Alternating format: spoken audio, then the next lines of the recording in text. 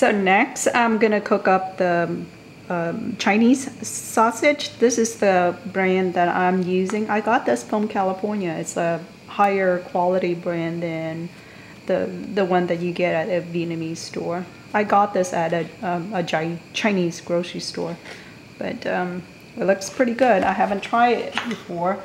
There's um, several ways that you can cook this up. You can steam it or fry it.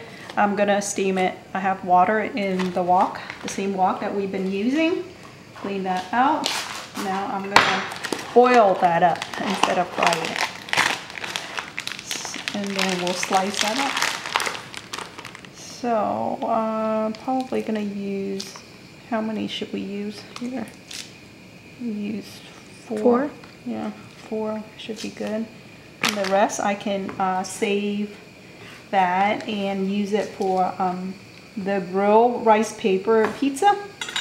This would be delicious with uh, Vietnamese pizza. So I'm just gonna add this to the wok and get those guys to boil up. And then save these guys. Put those guys in the fridge.